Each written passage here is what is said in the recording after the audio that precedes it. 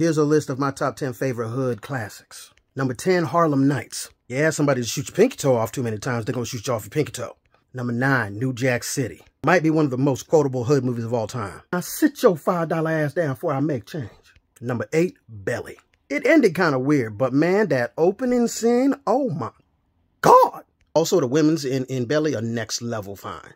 Number 7, I'm gonna get you sucker. He started wearing gold chains, Jack. Number six, Above the Rim. Marlon Wayans absolutely killed this role. And Tupac was really flipping a, a, razor blade in his mouth. Number five, Black Dynamite. If you haven't seen it, you're wrong. Number four, Menace to Society. What's up, partner? Number three, Friday, because it's fucking Friday. Number two, Don't Be a Menace to South Central while drinking your juice in the hood. I have watched this on repeat a hundred times. And number one, The Last Dragon. Who's the master?